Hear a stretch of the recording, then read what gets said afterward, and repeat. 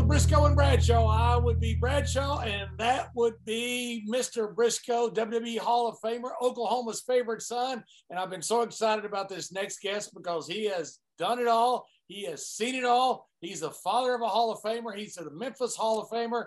He is Mr. Jerry Jarrett. Mr. Jarrett, thanks for joining the show. Thank you for having me. I, I've been looking forward to joining you guys. Well, Jerry, Jerry, when I saw you in, in Tampa here at, at one of those autograph things we were doing, you know, you, uh, we, we kind of uh, wondered towards each other.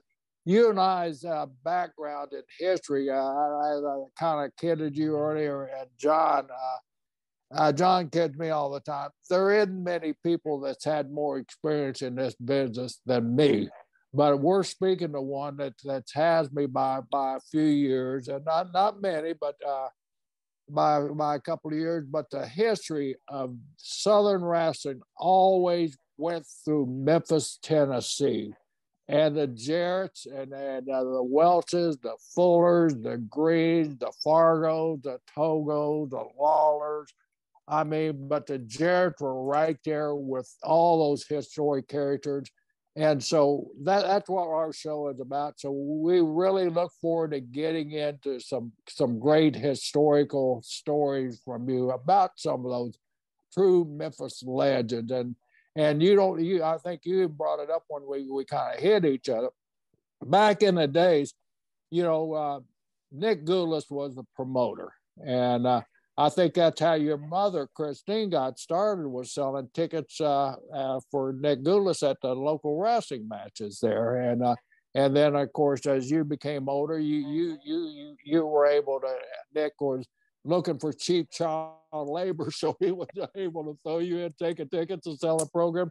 So your your start and your history is so so fascinating and everything. Can you take us through some of those early days that, that you can remember? I know you can't go all the way back and sitting at your mom's feet while she's selling tickets, or maybe you can. So kind of take us through that historical deal and all the way through to when you you and King and what what precipitated that uh, you and King finally buying Gulas out. But as I was going, you know, the the rumors among the boys don't go to Tennessee unless you want to starve with there. Then, there, then there's that historic story about my brother who was there right out of college and a damn boulder fell on his car and is totaled it uh, old Pontiac out and he had no money or no car.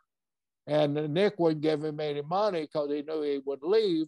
And so Spud, Spike Monroe gave him $25. Jack went down to the bus station, bought, called him, got a bus ticket and went back to Oklahoma and quit the business for a while. So, uh, so I don't I don't even know if you were aware of that. That was probably before your partnership time went.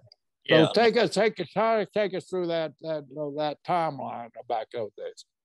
Well, to make it real simple, my mother was a single parent, uh, raising two children on her own. So she got a part-time job selling tickets at the old Hippodrome.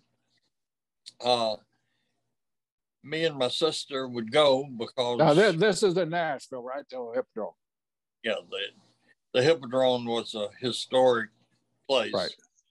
And um, we'd sit on little coke.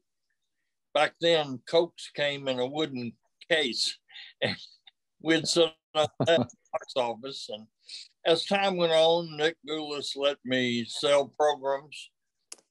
Uh, they sold for a nickel a piece, and I got to keep a penny. Uh, then, I, as I got older, I got to uh, take tickets up at the door, and that's the first time I met Lou Thesz. Uh, and, and I was just in awe of him. And years later, I got to work with him and and book him. Uh, we talked about Jerry. Jerry, what when you met Lou Thesz, I mean, this was a man who carried himself like a champion. Did, did, did you were a small kid, of course, at that time.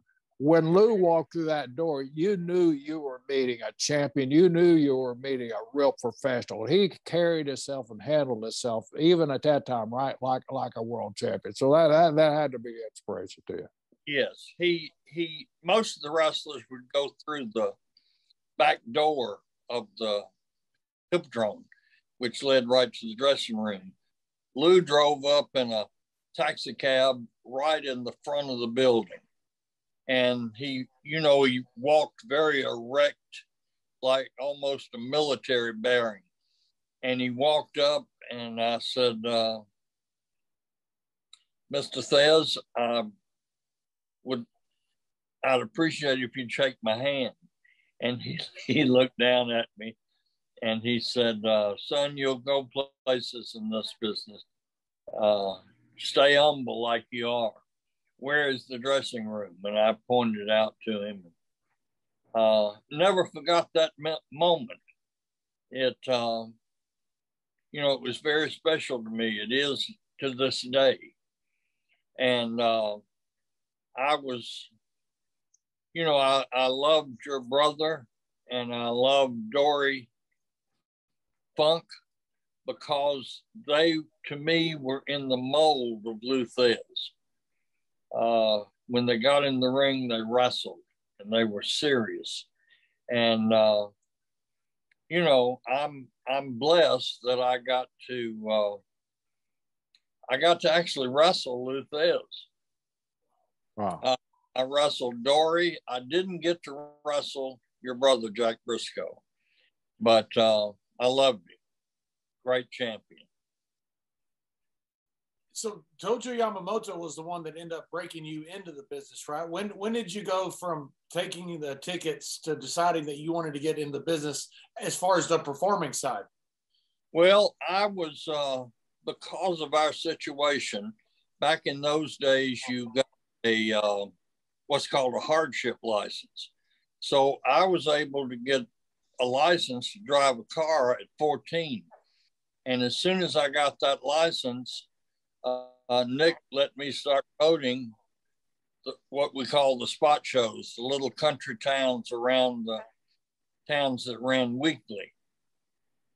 And uh, I did that until I went to college and um, finished college and, and got a job at a bicycle company. And, and an event happened in which the owner's son took over the company and we've seen that happen.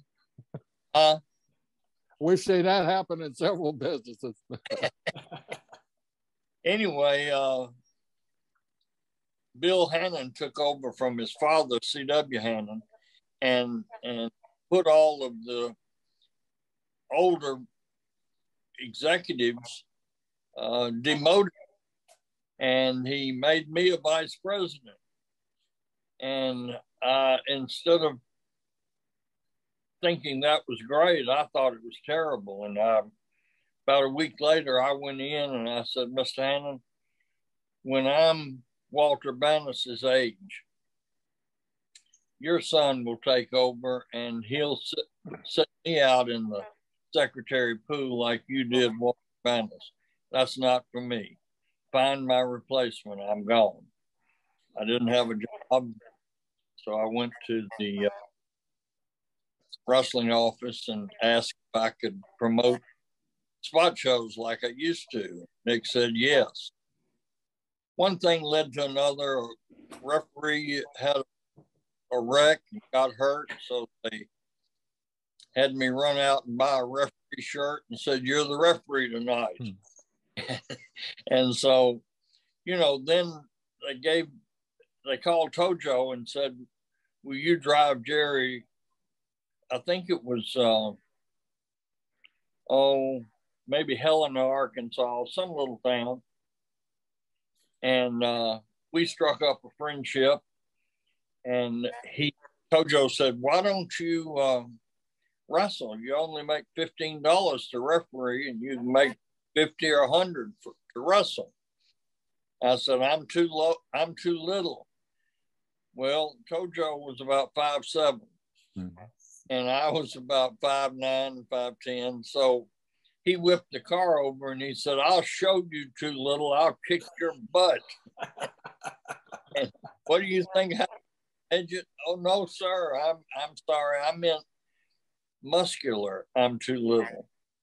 And uh, anyway, we got through that, and uh, he started training me in his apartment to uh, to work, and he went up to the, with me to Nick and Roy Welch, and said, uh, uh, "Jerry's pretty good hand. Need to book him."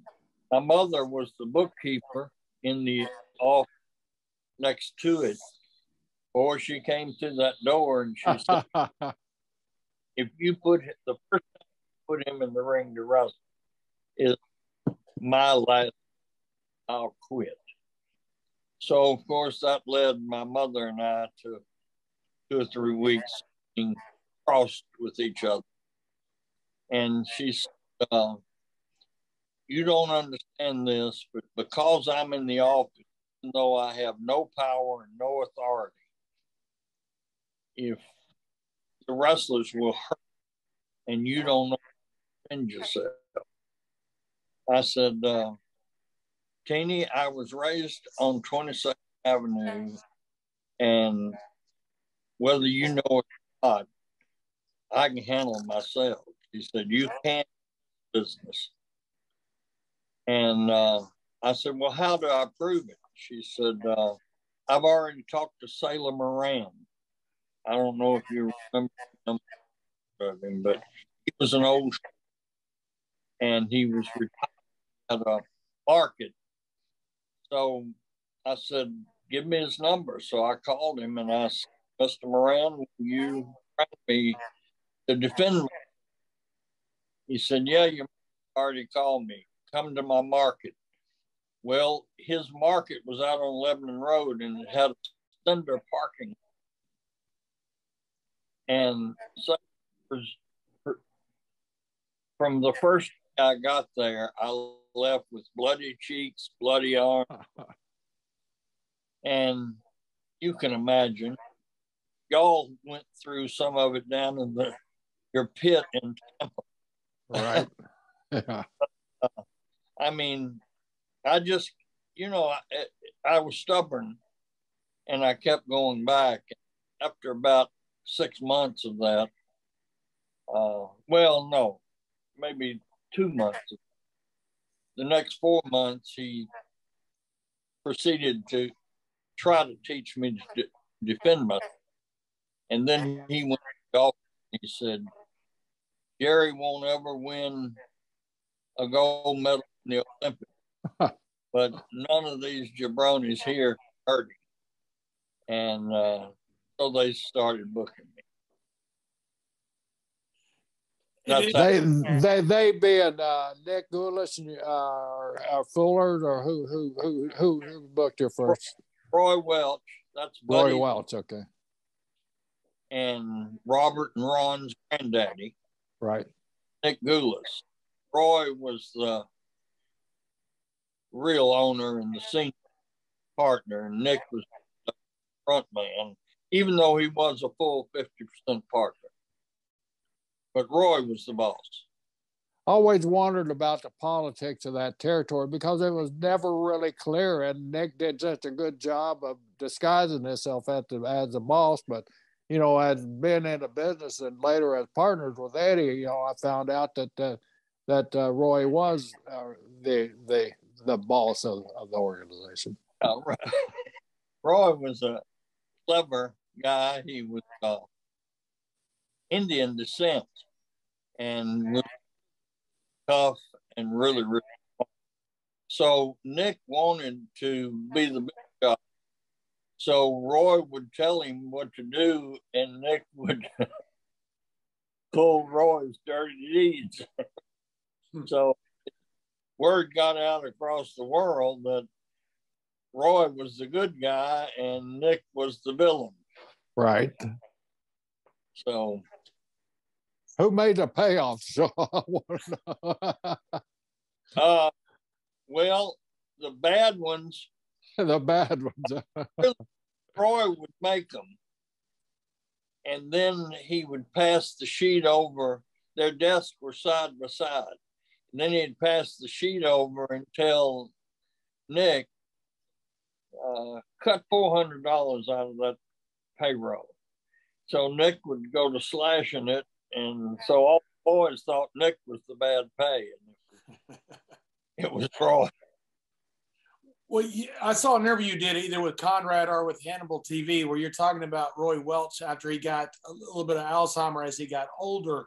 And you thought that Mario Galento was actually sent after you.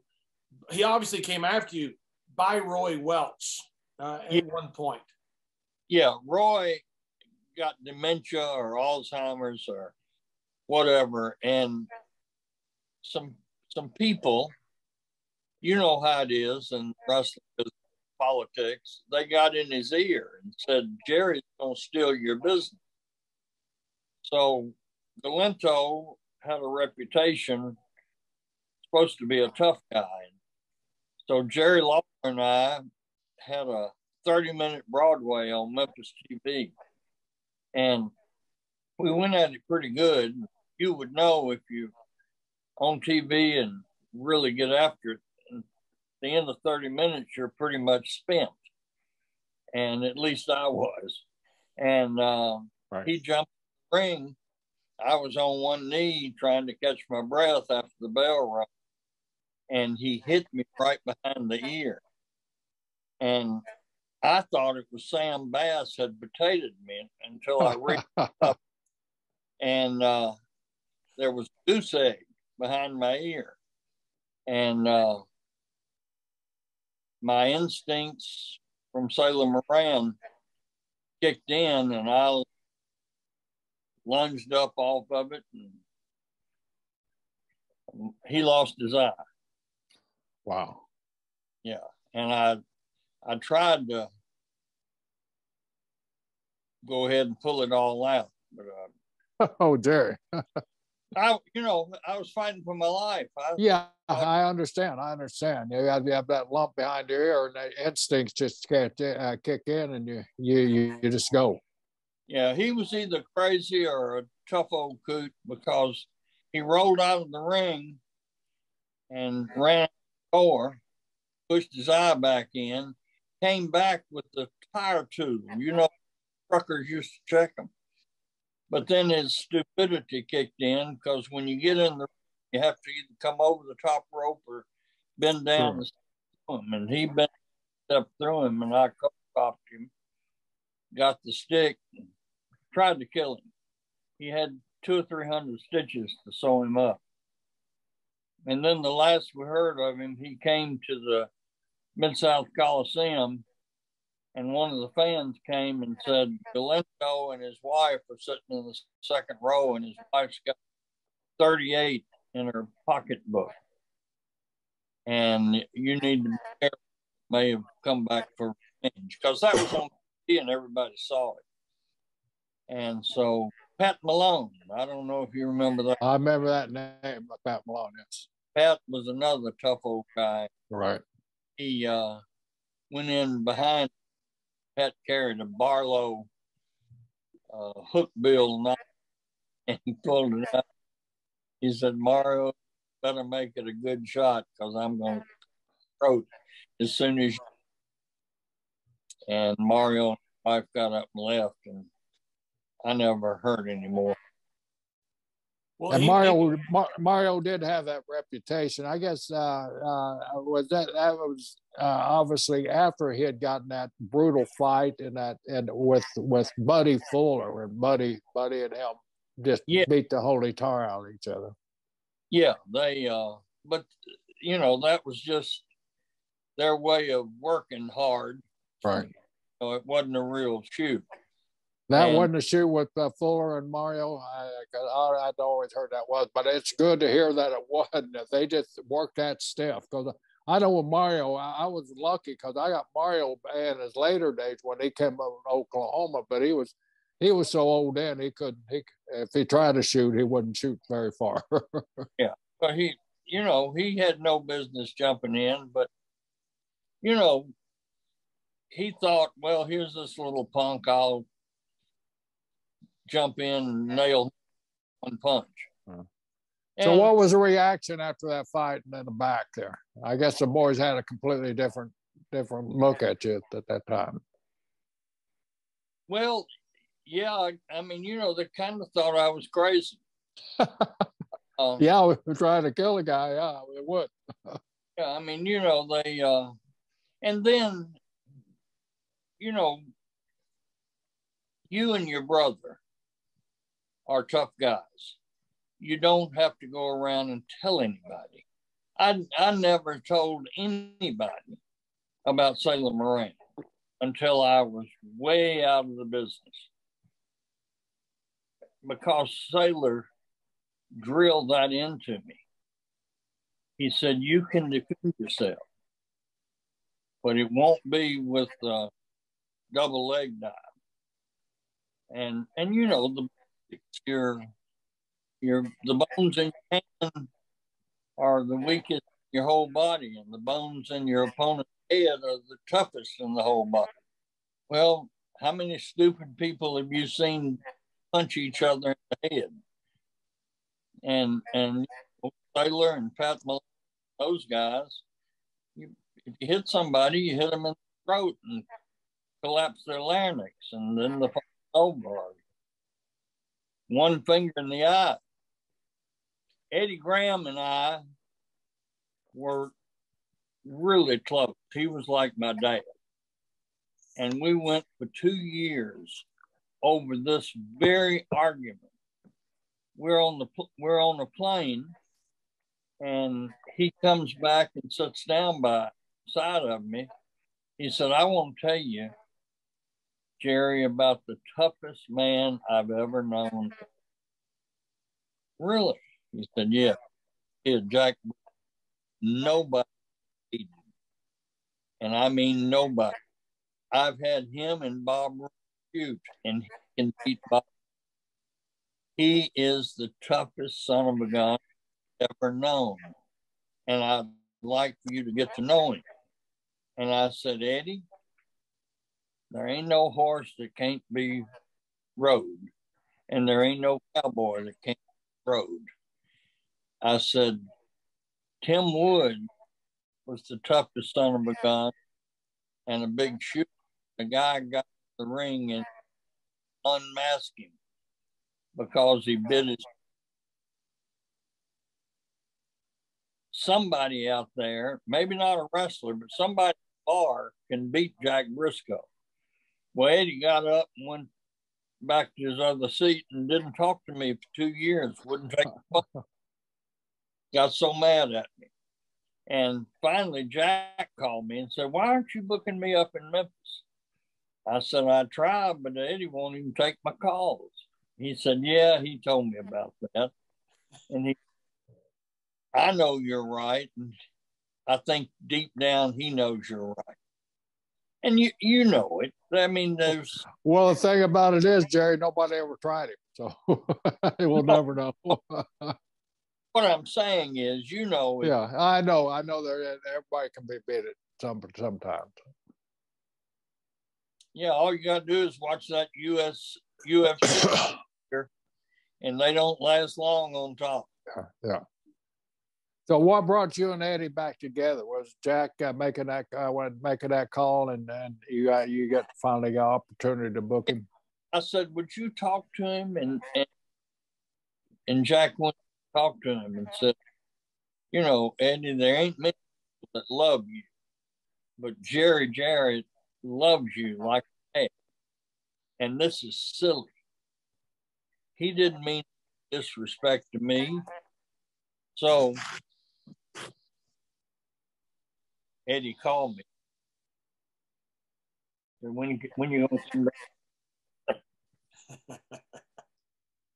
I see that's a lesson to you, Mr. Brisco. All the times that you have stretched me after shows and bars, one day I'm going to get you. well, you did get me out one day, blindsided me. You know, you're right, uh, Jerry. People can get you. Uh, we, we were at a big pay per view, and Sawyer Brown, you know, the country and western band, they were rehearsing. They were our pre show. So John was up, at the, of course, being a, a mark for Sawyer Brown was up being a little group, up being a little groupie for Sawyer Brown. So I was walking out the ring to do my job. Back in WWF, they had these big bicycle barricades. You know, take a 400 pound man to move the damn things. And uh, so I'm walking out. all of a sudden Sawyer Brown playing. All of a sudden, I feel this, and my body just just crackles down. It's just a 330 pound Texan blindside me from behind, taking my ass down. So you're right. You, there is a time. Sawyer Brown quit playing and said, "Well, I guess there's something going on back with Bradshaw and Brisco." And they quit playing, you know, to watch watch the tussle. And he actually he he had me cornered where I couldn't do anything. So you're right. They're they're in. They're in the, I admit to it. Uh, and a horse that can't be rode ain't a cowboy. It can't be uh, can't be uh, beat. So uh, I got beat by that by, by Mr. Bradshaw, and I give him that one victory. You know, I give him. hey, and then Mr. Jarrett, I I hid from him for about a week. then I he got was him so mad. Sawyer Brown. What's that? So yeah, Sawyer Brown was playing the uh, like going through their set in the afternoon, and Jerry was sitting there listening, and I jumped Jerry from behind. I got him good. I saw your Brown. Did either of you know him? No, no. Just, just from that, uh, just from that uh, that situation. John, is Jerry's uh, audio okay? Yeah, it's cutting out just a little bit, but I think it's okay. Okay. Mark Miller lives in Nashville. And uh, Ron and Don Harris and yeah. all go out to his place. Ron, Mark loved basketball, had a gym in his house. And uh, he wrote all music for Jeff and I for TNA. Wow. Yeah. Funny. The Harris boys, the Harris boys were great. I, I love those guys. They, they, had, Did, they, had, they had a good run up in WWE, but what what a couple talented, great guys the Harris boys are. Yeah. Did you break those guys in, Jerry? The Harris boys? They already could wrestle. Oh man, they were they were they were legitimately tough guys too, right? Oh yeah. Yes, sir we had an autograph session one time, and uh, somebody had said something to uh, Sable, and Vader said something back, but Vader had at that time a lawsuit or something on his uh, some some fan. He had an interaction that got a little violent, and Vader didn't want to do anything. Well, the Harris boys didn't mind, and they came piling over the It was a pretty good little brawl there for a short time, and they did very well. yeah, they're and they're both sweet guys. Great guys, great guys. So Jerry, take us take, take us back. Okay, you're you're you're you're there now. You're working for Nick Gulas, and uh, I hope you're not getting those lousy payoffs like we got. But uh, uh, I'm sure you wouldn't because your mom was the bookkeeper there. so, uh, so oh, anyway, so anyway, how did how did the split come up? Where, where if you finally had enough with Nick Gulas and the politics with Nick Gulas and and the unpopularity of of the territory that he created around around the Memphis territory, uh, Tennessee territory. Well, clear one thing up. No, because my mother was the bookkeeper, he could get by with sliding me, and the way I found out we'd go to a town that had a in Louisville, I mean Memphis, wherever, Birmingham, Huntsville, and Tojo, and I never talked business, but I I I'm looking at my paycheck and I'm saying, Tojo, that's a pretty good house, Chattanooga. And and I got seventy dollars. He said, I got 150. Oh man. And we did it all week and and Tojo's check was a thousand dollars and mine was like six fifty. So I had a little talk with him and well I really went to Roy and Roy said it won't happen again. Um what happened was I Jim Barnett bought uh, the Atlanta territory, right, from uh, um, Buddy Fuller. No, from Lester Welch. Lester and Buddy swapped Florida stock for Georgia stock. Lester was in Tampa with Eddie. So then that put Buddy Fuller, he couldn't get along with Ann Gunkel. And uh, so Lester is easygoing and quiet guy. He said, I can handle her. Well, he couldn't. It got worse. Uh-huh. And uh, so Barnett wanted to come back to the United States from Australia. And uh, he uh, he bought the territory and he flew to uh, Hendersonville and uh, offered me the job as a booker. And I said, uh, I'm doing real good here, Mr. Barnett. Um, I don't believe I will leave. And he said, I'll pay you $500 a day. If you're in Atlanta one day, 500. If you're there five days, 2,500. And back in, you have to go back into that time. I think about 72, 74. $500 a day was a big payoff. That was a big payday. So I took the job. We had some real good success. The Tennessee territory took a kind of a nosedive. And uh, Nick and Roy called me and said, if you'll come back and help book here and help put the territory back, we'll give you 10% of the territory. Well, Lord, that was music to my ears. Mm. I love Jim Barnett, really liked him, respected him, but I, you know, I was home and now had a chance to own part of the territory.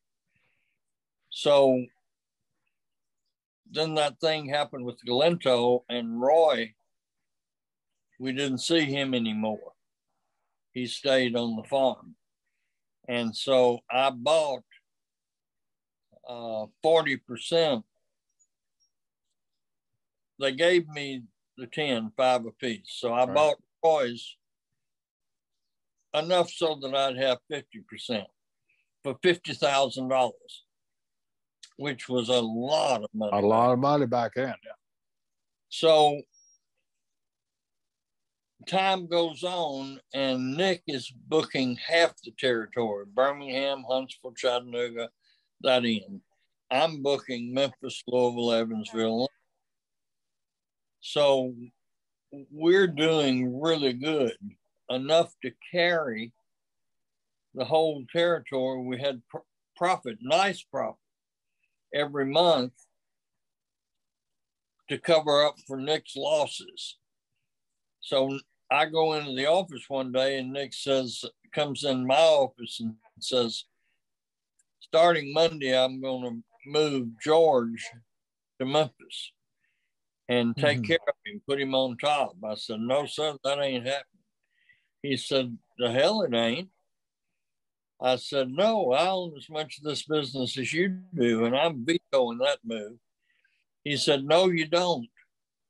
You need to call Cecil Bramstetter. That was his lawyer. And me being stupid, when I bought into the territory, I used Nick's lawyer. Huh.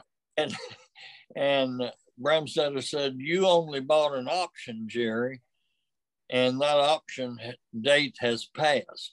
You don't own nothing. I said, wow. so my thousand is gone. He said, Yep, and you better do whatever Nick wants you to do. So I told Nick, I said, You're making a terrible mistake. I don't know what I'm going to do, but you can't run this business. And so I went home to my house in Hendersonville and sat down on my boat dock and cried real tears for three days. I was just devastated. And uh, finally, my wife one day walked down on the dock said, Are you just going to sit here and rot? Um, you built that territory. Why don't you build it one yourself and you don't have to carry Nick? And it was like a light came on in my head. And so I went up to the house and I called Eddie Green. And I said, Eddie, Nick has screwed me and I don't own nothing up here. I'm going to open up myself. And he said, Whatever I can do to help you, I will.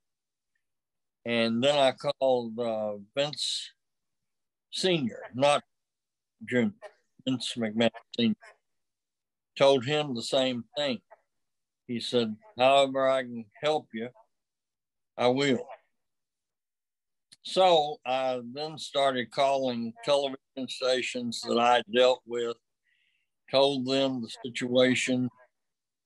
All the TVs said, We're going to go with you because we don't even know Nick Gulas. And so I just, I had a little bit of money enough to get some newspaper ads, and I started myself. So the blackest day of my life turned out to be a blessing. That's the reason I love that song. Uh, I thank God for unanswered prayers because it, it, you know, it changed my life. and, and Eddie, uh, Eddie sent me everybody. Jack, you, uh, Mike, Mike, Steve, everybody. I mean, I, that was that, was a co-op, and, and and it goes to that tie. You know, you had to made friends in that short amount of time with some very powerful people. You know, the Graham, the Barnetts, uh, Vince Senior, and uh, even Verne. I mean, that's what amazed me about your territory, Jerry, that you were able to, you were NWA true and true, but you were able to work with all those other promoters and get their talent in and exchange talent. That oh. was remarkable. I mean, you had Bockwinkel in, you had NWA champions in. I mean, you had you had them all in. You had probably superstar Billy Graham in through Eddie and uh, Vince Senior. and uh, yeah, it was it was wonderful. Vince Senior sent me Andre the Giant, and you know he didn't go out much, and uh, so that talent really made the difference. And then when we had the National Alliance, uh, Nick showed up with all of his lawyers and said he's calling himself NWA, and I'm the member. So anyway, Vince Senior and Eddie Graham, and you know how powerful they were. Yeah, and and work together too. Yeah, and both got up and spoke before the vote and said Nick Gulas don't have a truth bone in his body, and I'll risk my life that Jerry will tell the truth and do what's right. So they gave me the NWA membership. How important was it when you had that split uh, with Nick and you were talking the talent that was there that was already on fire in in Memphis? Uh, you know, he wanted to bring in his son George Gulas into Memphis, which was one of the big problems, which exposed the fact that you had been uh, a victim of fraud as far as how important was it for Lawler, Jerry Lawler, to switch and go with you? And was that a hard conversation to get Lawler to come and go with you? No, he he he didn't like Nick way before this happened. And matter of fact, I would the booking before we split. Uh, Nick would try to get Lawler, and I booked him a couple of times, and and Lawler said, "If you ever book me there again, I'll leave." Not working for him. So, um, you know, after we got started, I gave Jerry 10% of the business because he was so valuable. You know, how many people can you book in Memphis 52 weeks a year on top? Right. Sell out most of the time. So, no, it wasn't hard. The uh, we had one little hiccup. The channel 13 in Memphis was the TV, and they were going with me except two weeks before I was supposed to start, uh, Lance Russell called me and said, My boss said we're dropping wrestling. If we go with you, we open ourselves up to a lawsuit. So that's when I ran over to Channel 5 and told them, You're number three in the market. Maury Grounder. I still love it, the memory of him. Uh, I said, I'll bring you the number one wrestling show in the country. I'll bring, I'll hire Channel 13, which was the number one station.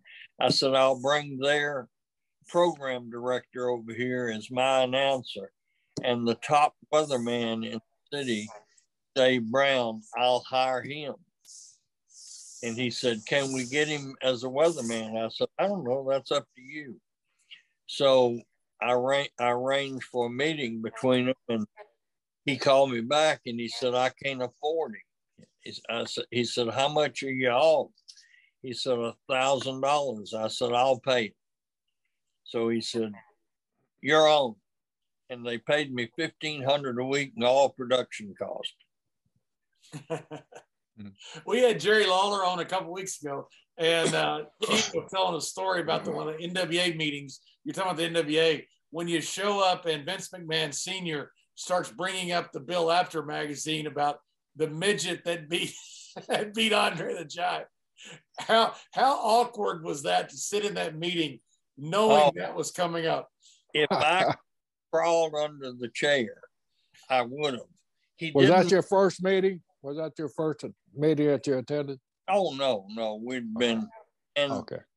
And Vince and his wife, we'd all always go out to eat, and you know, by that time we were really good friends.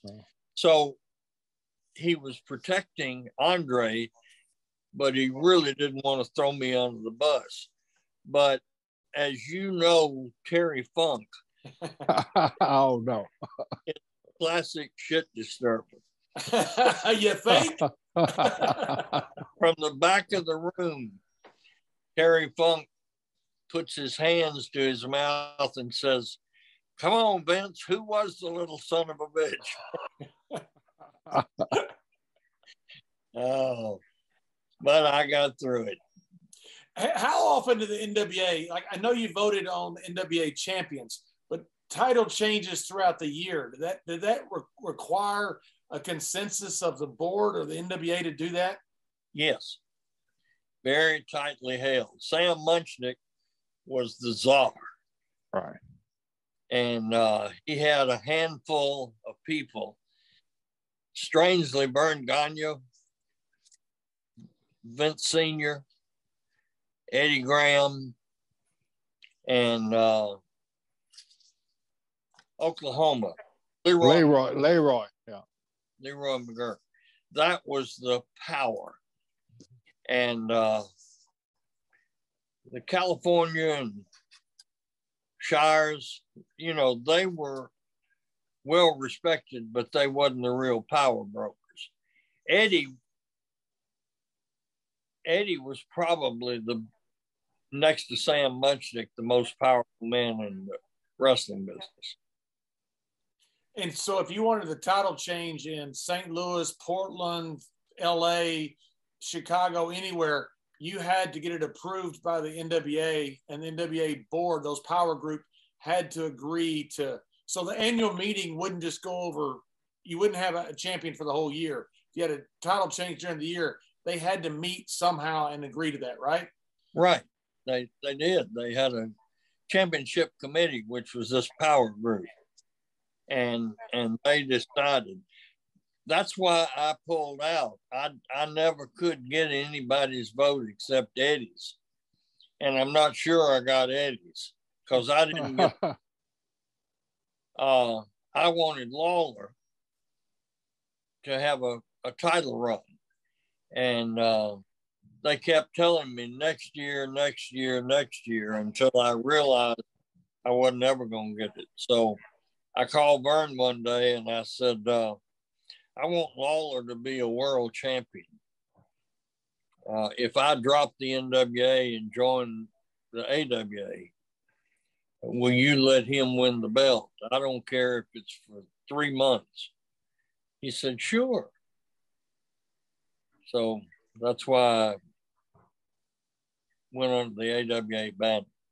I'm glad you brought that up, Jerry. I always that was always a question in my mind, you know, because I eventually buying ownership there, and John, even buying ownership in the NWA, if as a minority partner, you had to be approved by their their executive board to to add a partner in there. So all, all of us had to get vetted through, right, uh, Jerry, through the NWA process, even to be a partner with one of these uh, promoters there. It was very strict. I mean, it was it was authoritarian all the way through. I mean, if you and, and Jerry's right, Eddie Graham was the, was the the the the leader of the pack there, but it, it was strange. So I'm glad you brought that up. Because I always wondered how you could, you know, NWA uh, uh, banner, but I I didn't know you weren't under the NWA banner at, at the time that you brought Verne in. You were AWA member at that time. When AWA membership was just you and Verne, basically. Yeah. Well, by the time I did that, though, the NWA was pretty much fragmented. Right. And so, you know, I Verne Verne really liked our territory because the, the boys, the Road Warriors, uh, everybody. You gave, you gave him an outlet. You took a lot of his guys that had originally trained and you gave them their, their original break sound and out, out of out of Minnesota, correct? Yes, yes. And uh, so anyway, he and I got it was it, it's real hard to call Verne your friend. Yeah. We were business associates uh, that did a lot of business together. But, you know, Verne wasn't like Vince Sr. Vince Sr., I'd rather have his nod than a 30 page contract. He, he Verne, Verne had the ESPN, but also you had uh, Joe Blanchard had USA Network, uh, who ended up losing it. Were you ever in the bidding for the USA Network during that time of cable television starting to become this national program uh, that ended up Vince McMahon Jr. ended up getting that uh, USA Network? Were you in the bidding for that for the USA? Yes, and uh, um, my good friend Jim Barnett called me and said, uh, "This KTV will kill the wrestling business." Um, you know, I, I hope you won't put Memphis TV on, on a cable network. And you know, in in retrospect, sometime I think boy, I wish I'd have done that. But then when you when you really weigh all the factors, I'm glad I didn't. Uh, I mean, when I, you know, I, I went to uh, Minnesota with $3 million cashier's check in my coat pocket to buy Verne. And after we went through lawyers and everything got approved, he called me in and said, We forgot what we're going to do with Greg. And so I had a meeting with Greg, and Greg wanted half the book, me to pay his country club membership, a bunch of crap. So that deal fell through. But um, see, I would have had, if that deal had gone through, I'd have had ESPN, USA. I was already in Dallas on Channel 10, which had national exposure, and my Memphis territory. I'd I'd had more market share than Vince Jr. But as it turned out, I think it's I've got a philosophy that you're we're all right where God wants us to be at every moment. Did, you think that Super Clash, you know, Super Clash 3, was the one where all the promoters got together. Uh, I think Lawler worked with uh, was it Kurt and or no with, or with Kerry, and uh, that was the idea of making a unified front against uh, Vince McMahon that we know, Vince McMahon Jr. Did you think that that had su- success potential when you first got into it? Now that was the Eddie Einhorn deal. Yes. Yes, it would have, except for the greed of Bill Watts and Jim Crockett Jr. We we had a meeting. Eddie Eddie. Um, well,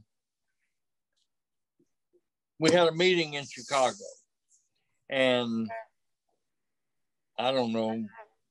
I think twelve promoters were at the meeting, and they voted for me to produce the TV in Memphis four weeks and in Louisville four weeks. And so I did, and they, you know, Eddie Einhorn had cleared a, a TV station in New York. So we ran those eight weeks of television and had the first match at the Meadowlands. And it was not a complete sellout, but it was real close. And Bill Watts and and Jim Crockett Jr. said at that night, Jerry, we're out. This has proved we can be successful. We're going to ourselves. And they did. I think both of them went bankrupt. and but that that after that, did you realize that uh, the territories was were were on the way out? Uh, yeah. Yeah. And you realize uh, the proliferation of cable television. You know, somebody was whether Vince did it or not, somebody was going to do it. But you realize at that point, it's probably going to be Vince McMahon. Yes. Yes. And uh, I knew it was over. And, um, you know, it's funny how things happen because right about that time, every time I would talk to Vince Sr., I would say, because here I'm this poor little country boy from Nashville. You know, he's running the biggest, strongest territory in the world, the Northeast. And every time he would help with anything from sending me talent to offering to loan me money, whatever. I would say if there's ever anything I can do to help, please let me. So, we lost. Can you still? No, we, we lost, lost you for just yes. Uh oh. No, we lost him for good. Ladies and gentlemen, live TV. Live TV. live like podcast. Whatever. What do they call this, John? It's not TV. I don't know what it is. Uh, we're, we're live, whatever it is. We lost our paying guest there. Uh, one thing I want to ask you though, um, Mr. Jarrett, was uh, did Vince really call Eddie Einhorn and tell him that this wasn't going to work? Eddie Einhorn, Eddie Einhorn, for those that don't know, was a, a uh, owner of the Chicago White Sox. Yeah, Eddie was there that night, and uh, what was ironic during our meeting in Chicago Airport, Vince Jr. called Einhorn and said, Eddie, you're in the room with 12, 14 people that all think they're God. You you couldn't get an a of opinion to order pizza. And boy, how right on Vince was. Because there that night, I went to Eddie Einhorn and I said, Eddie, Bill Watts is out and Jim Crockett is out.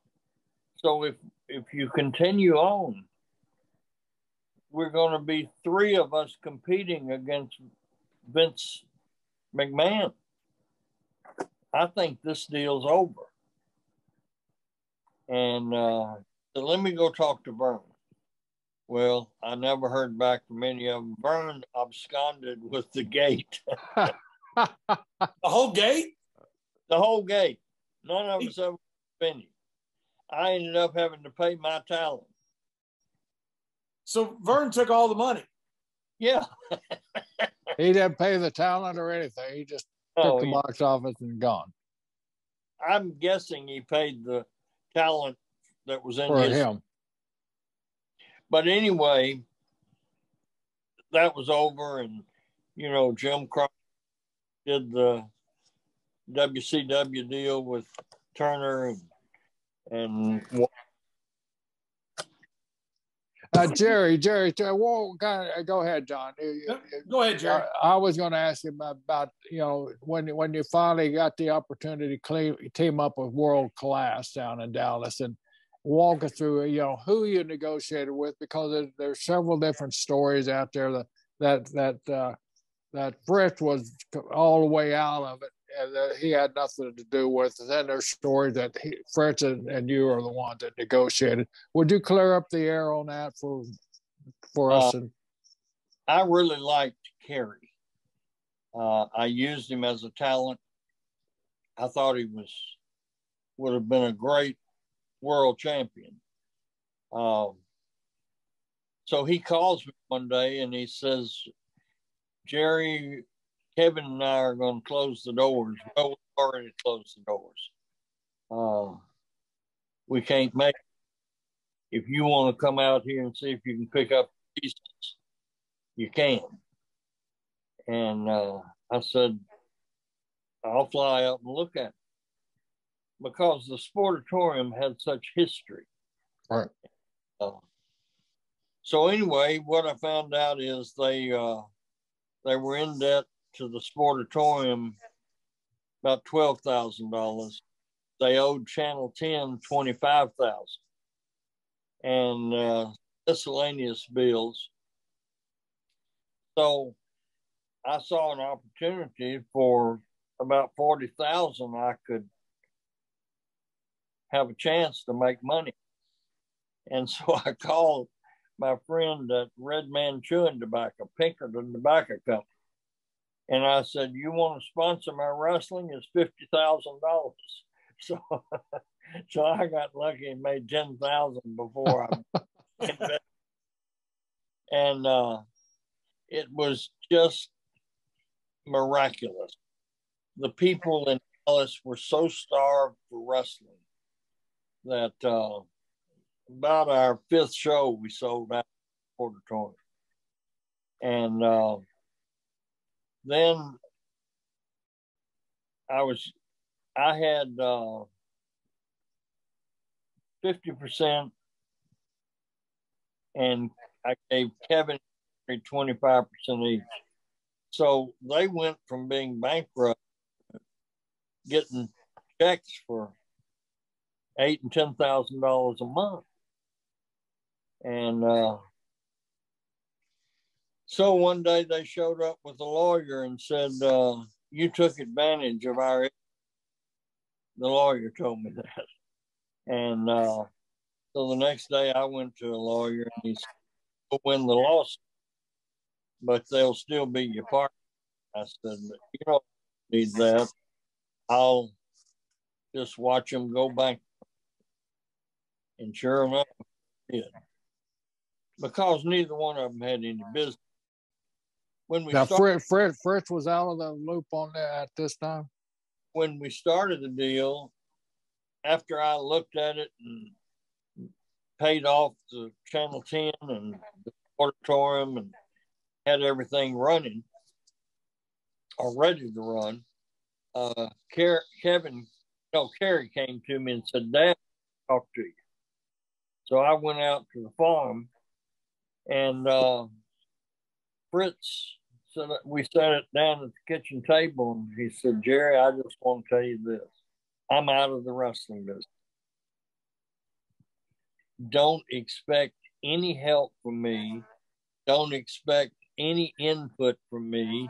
And I feel like I should do this because we were fellow promoters in the NWA. These boys will screw you. They're both on drugs. There ain't a honest bone in their body. That's their dad telling you this. At the table. With mama, mama over filling Jeff fried chicken or whatever. At the sink washing. and he's talking about them worse than you'd talk about Vince Russo. I mean,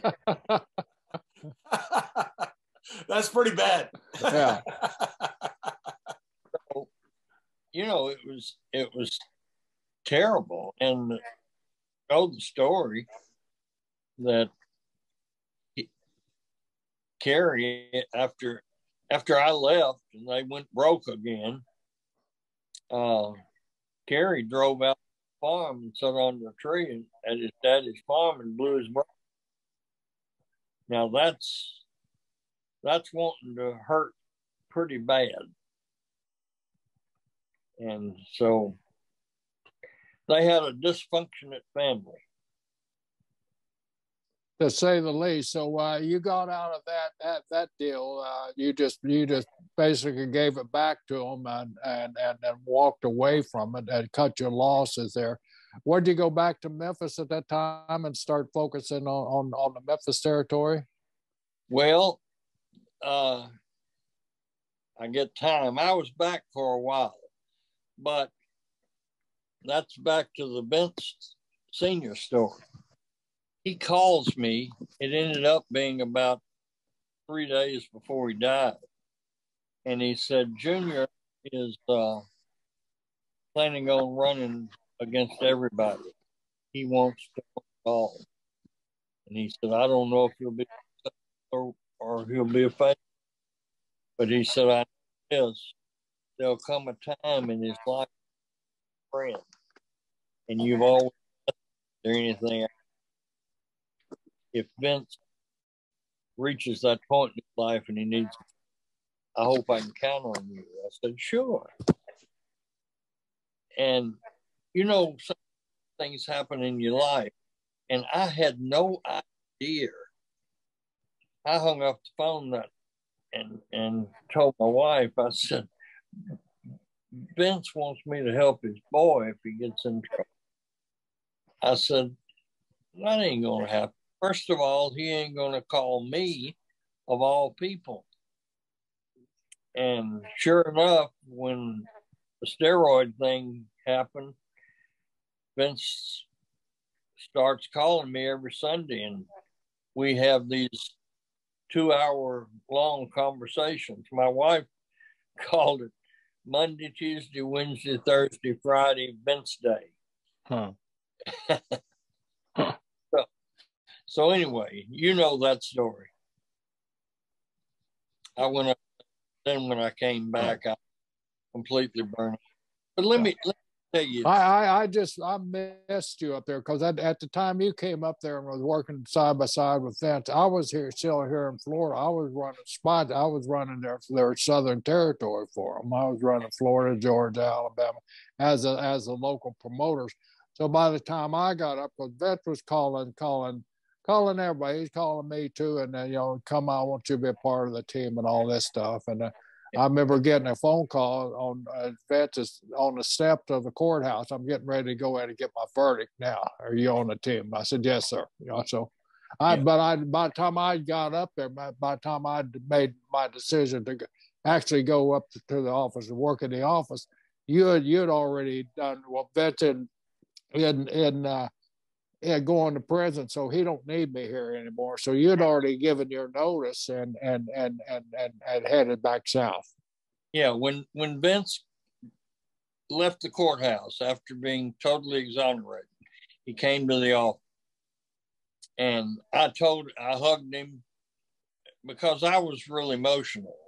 You know, he could have easily gone to prison, and it would have right. been so unfair, so unjust. So I was you know, caught up in the emotion and and I hugged him and then the next day I told him, I said, Vince, everything's fine. I love you, but I'm going home. And I did.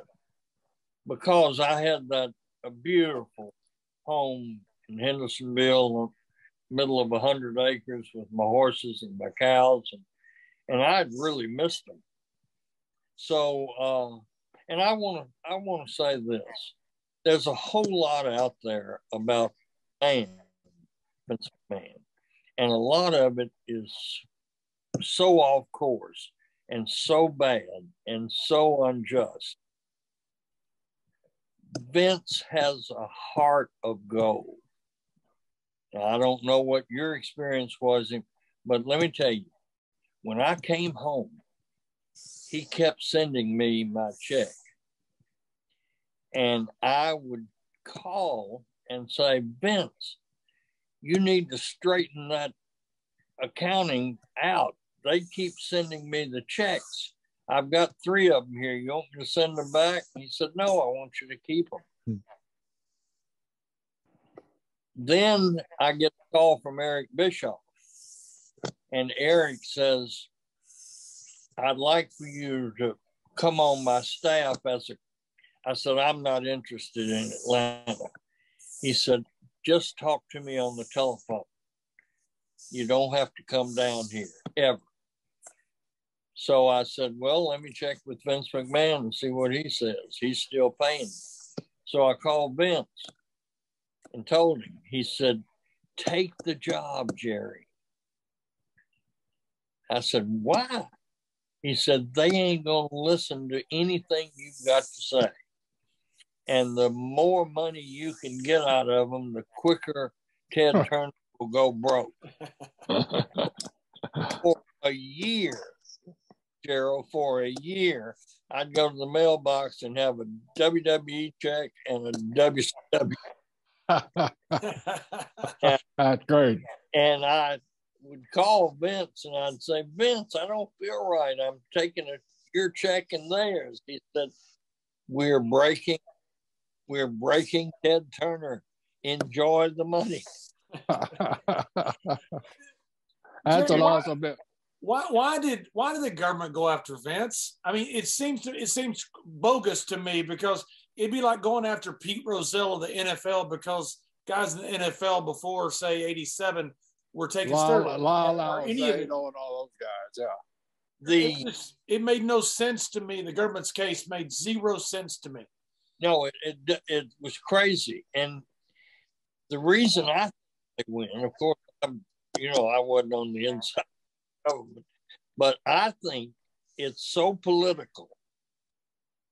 If a prosecutor were to knock off Vince McMahon in New York City, he'd have a political advantage to run for mayor or some other office. I think it was purely a political move because it had no foundation. I mean, here, WWE mailroom, I'm sure they took in more mail than Walmart. And how is Vince going to check every package that comes in? And then he, what's he going to open them and see if there's steroids in them? That's what they were charging him with distribution of steroids. Crazy. Yeah, absolutely bogus because they didn't go after any other sport. They went after no other entertainment. They they chose to go after Vince. It just seemed like you said a, either a personal vendetta or something political because the whole thing. But you almost ruined a guy's life. If it oh. hadn't been Vince McMahon, that ruins most people's lives. If it wasn't if it wasn't a Vince McMahon. Yeah. One thing that uh, I've always uh, lo- loved about I saw your interview. I think you did with Conrad. You talked about Jimmy Cornette. That you that you said you said if anybody can annoy you that bad, he can annoy everybody. Jim yeah. Cornette's one of the greatest man. I love Jimmy Cornette. He's one of the greatest managers of all time. Smart guy, can talk. But tell the story about how you got Jim Cornette into being a manager. All right. His mother and my mother were great friends both of them single parents. So Jimmy took pictures at the Louisville matches. That was his home, Louisville. So he wanted to come to Memphis, because Memphis TV in particular, because that was kind of the mecca in in our area. And so my mother intervened and please take, please take him. So after two or three weeks, I said, all right, send him down. So when he got down there, I said, Jimmy, stay out of the way. Take the take your pictures, but stay out of the way. Yes, sir. So there's a coffee area, a lounge area at the TV station. So I'm at a round table over in the corner talking to probably Lawler and Dundee, you know, about TV and gonna try to accomplish. And Jimmy Cornette is holding court across the coffee room. And he's talking loud and boisterous. You know how. Big Cornette. yeah. And and I'm sitting there. I said, my mother's gonna be mad, but I can't put up with that son of a bitch. He's driving me batty. And, and so uh, whoever was sitting there said, Yeah, we need to put him out there. He can get a lot of heat with the fans. And that turned on the light. So I got up and walked over to him and I said, Do you want to be in the wrestling business? Yes, sir. I said, We'll show up next week. And he said, What do you want me to say? That I don't care. Just talk like you're right here. so he did. And he well, you know, the rest is history. He became great managers of all time. I saw part of the, one of the clips of his one of his first interviews with Lance Russell, where he's talking about his mother and his mother's written him a check, and it was it was one of the greatest interviews because it's just heat. It's just nothing but heat. You look at that interview and you you hate that man. Yeah. Cornette, Corny was so good from the start. Well, see, that's what he was telling him at that table about my mother. I don't ever want for anything, fellas. She gives me a check whenever I need it. And, you know, I'm thinking, yeah, slap that check upside your head.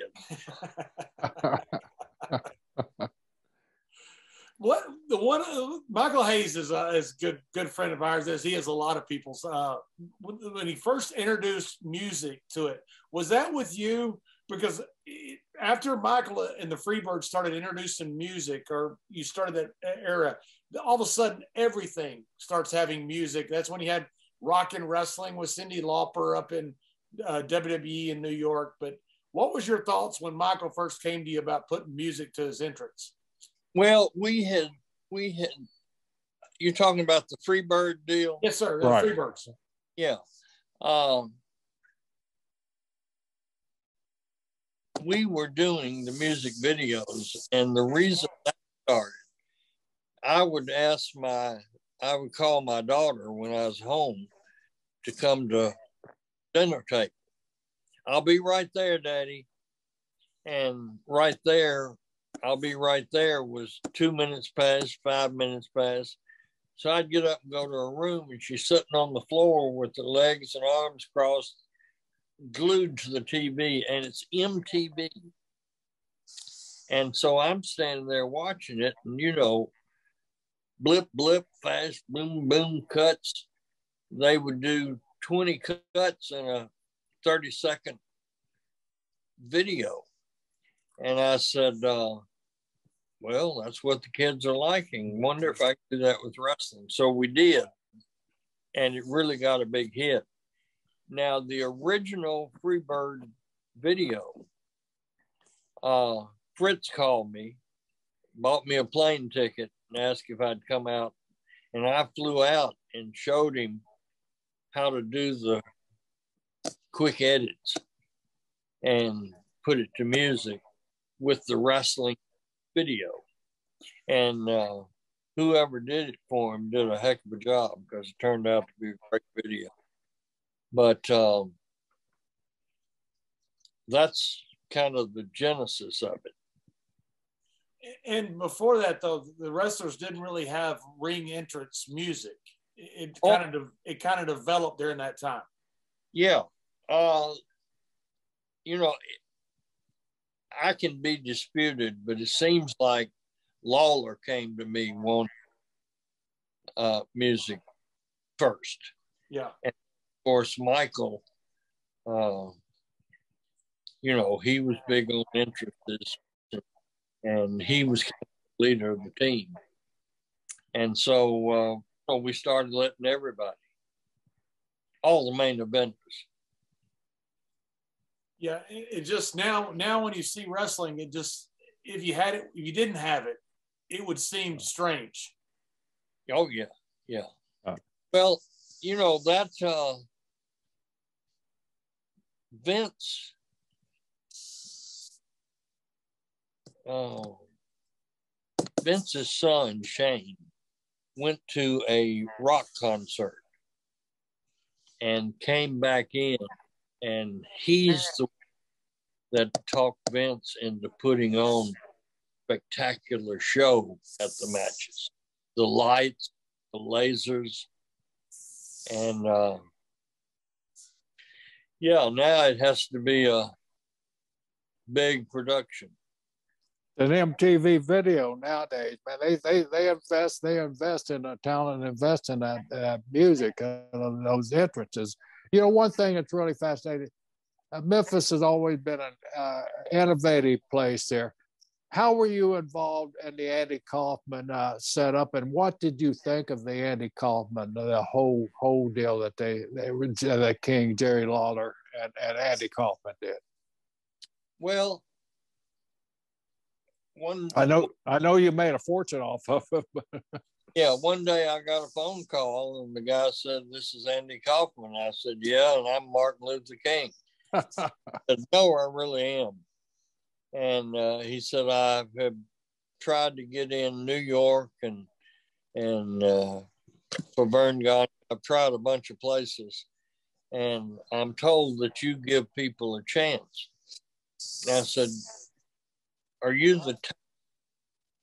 Andy Kaufman?" Yeah. He said, "Here's my stick. I do a wrestling deal in my stand up comedy routine.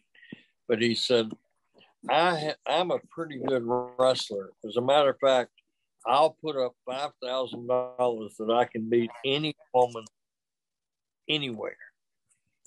And I said, uh, Well, that's interesting. I said, There are some women in Memphis that will clean your flat he said, Well, you, will you give me a chance? I said, Yeah. So he came to Memphis, and uh, that's the way it started. He, he put up his own money. One night, this big, strong black girl was about to beat him and won five thousand dollars. Lawler ran to the ring and interfered, saved Andy's money. but uh, what a sweet guy. You know, he never cashed a single check. Really? Never. Just did it because he loved it. Did he loved it. He said, wrestling is the only real theater left. And he said, I just love it. Where did he get the women to wrestle? Were they women wrestlers? Where, where the, the, women that he oh, came oh, in? Our announcer would say Andy Kaufman's here, and he says he can beat any woman here in a wrestling match. Now there's no fist thrown. It's got to, you'll be automatically disqualified. If he throws a fist, you win the five thousand dollars because he'll be disqualified. Do we have any volunteers? And every night, four or five big women would come up what? Andy would point to one of them. Usually, he'd pick out the biggest, strongest one. And he he was a decent wrestler. He could hook them and pin them. That seems like a that seems like a strange fetish that he yeah. has more than more than more than wrestling. Yeah. The, why didn't he work it? I mean, why why didn't he do the same thing? I mean, if he's, getting heat, why wouldn't he work it instead of having a shoot volunteer? Well, that was just his gimmick. You know, I mean, he wasn't a, you know, who's going to book him? I had the reputation of booking anything that had a warm body, and I, and you wouldn't book him. no, but uh, you know, it, it worked. And then uh, him and Lawler, that was magic. Oh, I've got a funny story about Bill Watts again. Bill called me after that thing aired on TV and said, Man, I've just got to hand it to y'all. Take that damn comedian, that Hollywood jerk, and put him in the hospital. That's the way we need to protect the business. And Watts was enjoying it so much, I didn't have the nerve to tell him Bill, it's work. thank you. When well, you can work, when you can work the guys, you know you're a good worker. yeah. Well, Kaufman stayed in the hospital for either two or three days, working yes. working the doctors, right? Yeah, he was supposed to go for one one night and check and turn him loose, and and he went, and the doctors took X-rays and all, and put him in traction. And instead of him saying, "No, I'm all right," he goes along with it and tells them, "I, I can't move my left arm." And and you know, it took him two or three days to get to where, Doc, I feel a lot better. I believe I can go to rehab now. And he told me going to rehab in New York or California. what was what was his plan with with the women? I mean, did he did he have like a, a end game for this, or was it just I'm going to come down and wrestle some women? Like like he went on the comedy club circuit. He was doing appearances in wrestling. You know, he went on national TV and carried the work on with Lawler. Lawler slapped him and you know it was it was crazy. He he wanted it to go on and on and on forever. I, I, I, I, bet the local press down there in Memphis and Nashville was eating you guys alive, you know, wanting information and everything. It had to be so much positive publicity, you know, that, that you, grant, uh, you gained from that. Well, it was more national publicity than it was local. Local, wow. The the soap commercial he did, and the stuff he did about hygiene those were some of the greatest videos I've ever seen. He and, was such a good heel. And he wrote it all himself. He's he was just a genius, a com- comedian genius. Did the guys get along with Andy backstage? Was he, did he uh, was he active with oh. the talent, or, or, how how was he accepted by the talent backstage? Such a sweet guy, and so humble, and so appreciative, and and he'd tell everybody, I admire what y'all do so much. He said, I stand back here and it looks so real. So, you know, everybody loved him. Did it ever occur to you to like give it, get somebody like Ronda Rousey out there and just split the money with her? no, because it just it just is made for a double cross to get some. And JBL, I'm sure you've wrestled Memphis and looked in that audience. I mean, there's some girls out there in that audience. I don't think Ronda Rousey could be. yeah. Yeah, I'd do it, Jerry, but I'd make it a work. yeah. you also had? I got to ask you because uh, I love uh, I love honky tonk. Uh, Wayne Farris but you had him down there, the concession stand mm-hmm. brawl. I mean, you, you had some stuff with with Wayne. I always call him Honky Tonk. It's unusual for me to call him Wayne. Uh, that was he was a really good worker and was doing some great things for you down there in uh, Tennessee, especially that concession stand brawl, right? But way before he became the longest reigning intercontinental champion of all time. Yeah, yeah. He he was uh he and Lawler were first cousins, and uh, there was always a little bit of heat between. Wayne thought that Jerry got the inside track on stardom. but that uh, that brawl in Tupelo, uh, I, I got a crazy idea off of a newscast. Some guy went into a bar and they had a free for all and they showed about 30 seconds of it. I don't know how the security camera in the bar. yeah, that's the way they showed it. And you know, you could you couldn't see it all, but I said, boy, that's exciting. So I just my contribution was I said, why don't y'all let the fight spill out into the concession stand? And they they carried it from there. were Were you part of the conversation we had uh, Jerry Lawler on a couple weeks ago? And uh, I worked with the King for years and years. When he was uh, in negotiations to wrestle Elvis uh, at one point, were you were you any part of that? No, I, I'm I don't know anything about. Apparently, Vernon Presley they talk, talks about doing some type of you know they'd already done the uh, Inoki uh, and Ali match, and Jerry had some talks with Vernon Presley about doing something with Elvis, but it never came to fruition because Elvis, you know, passed away unexpectedly. I, yeah. didn't, I didn't know if you had anything, uh, any, no. any part of those talks. Elvis came to the matches when we ran at Cook conventions, and that was before Lawler's.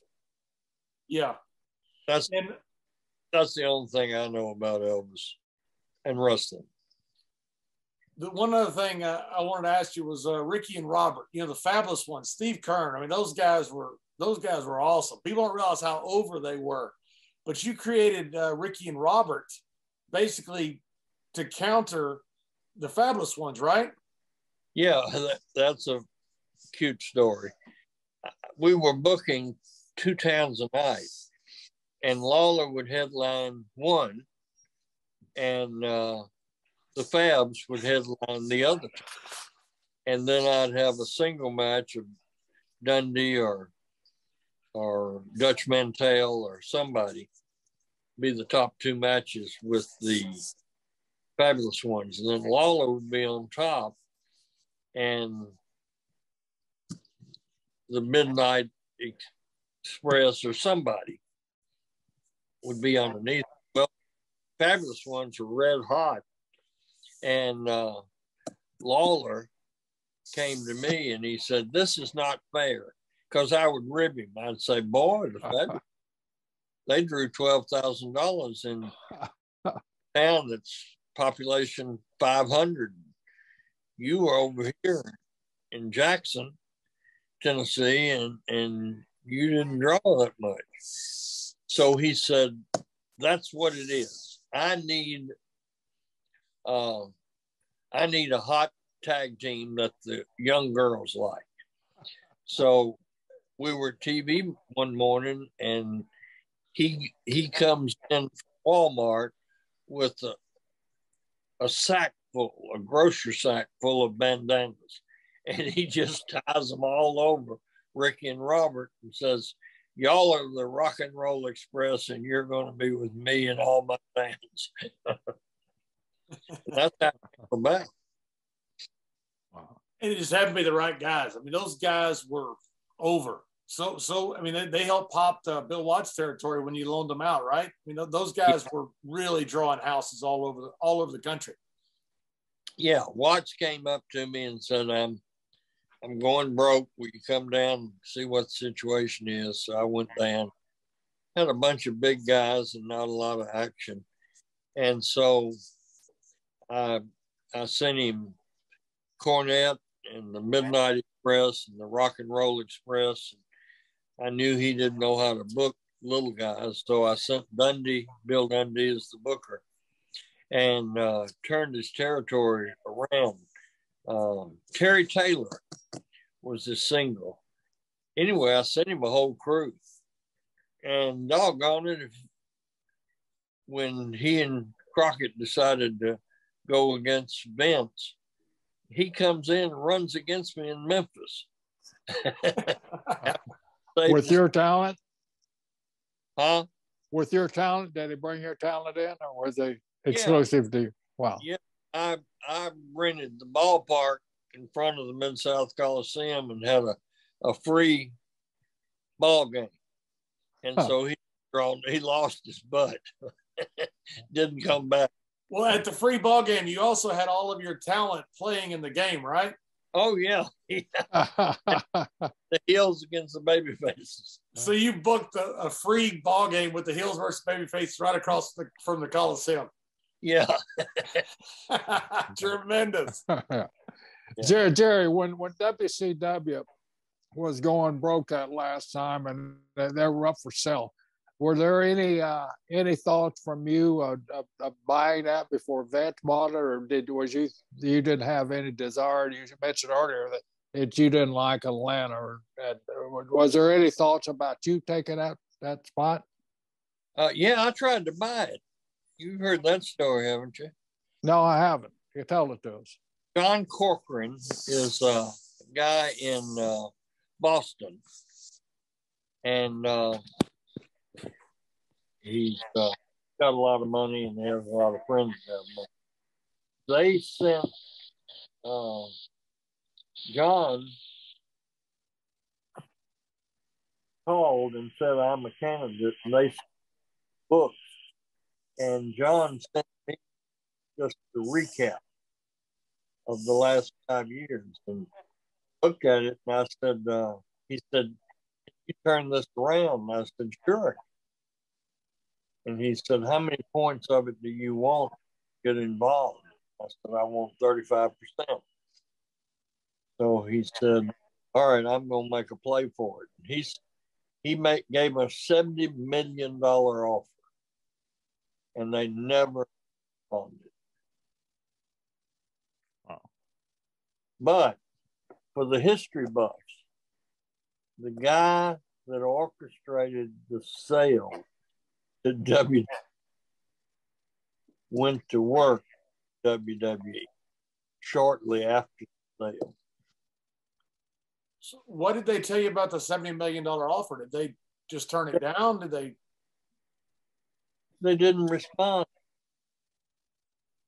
See, they, that isn't as wild as it sounds. They took in, they had a cash flow of 125 million a year.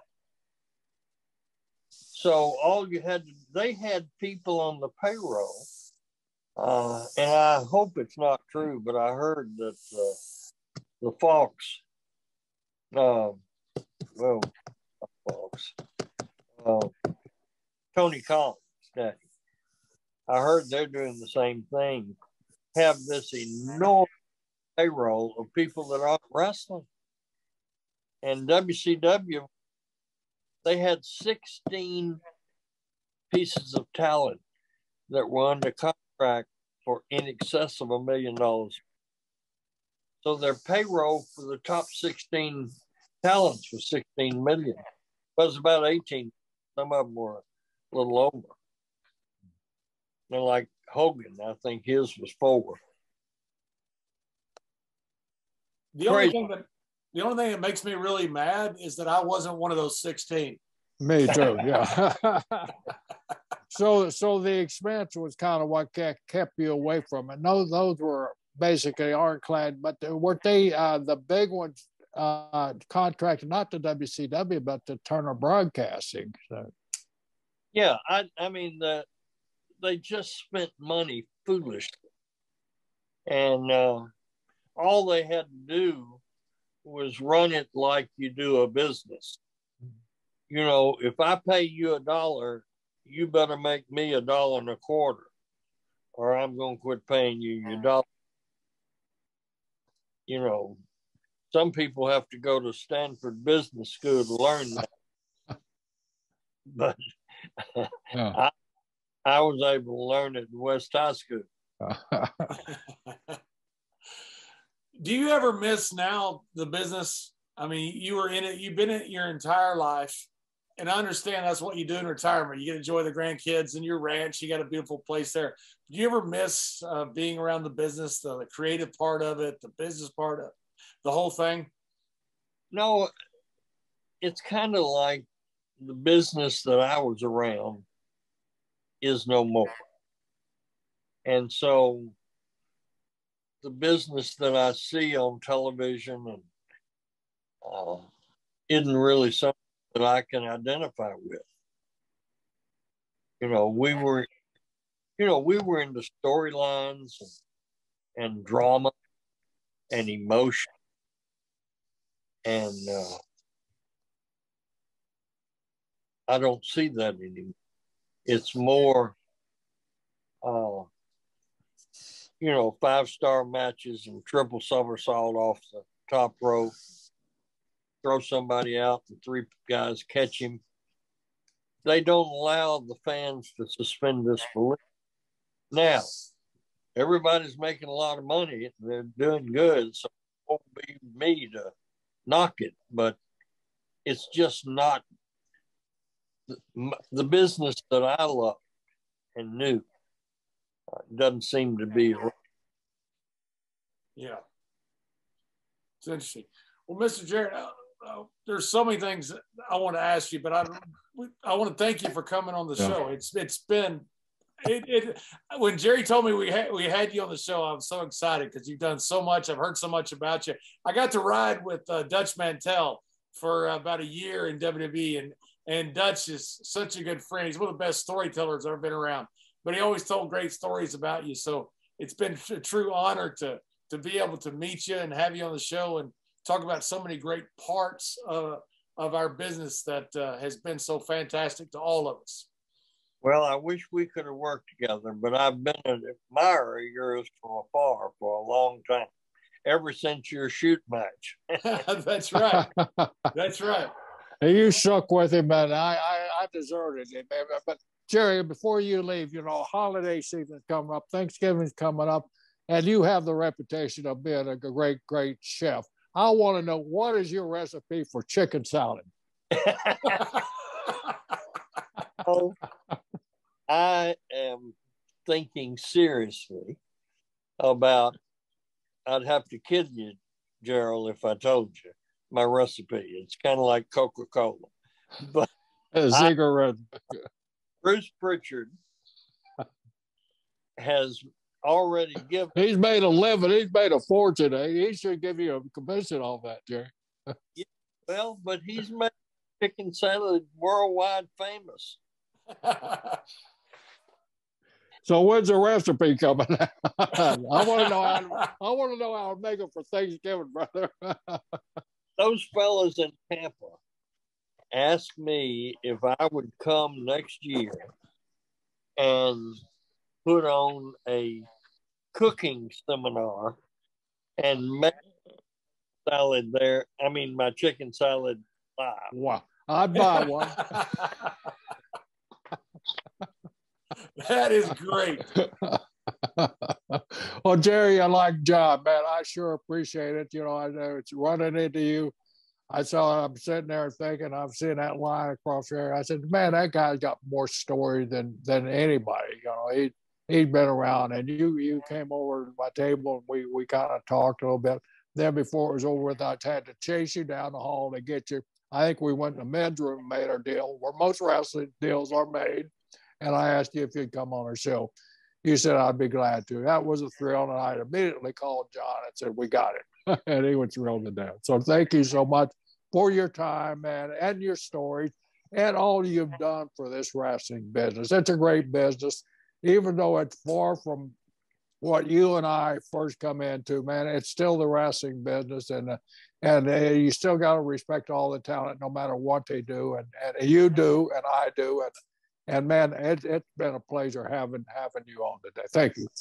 Absolutely. And Gerald, I, you know that I the respect I have for you and Jack and the contributions that y'all have given to this great business of ours. And uh, I'll always love you. Thank you, bro. Same here.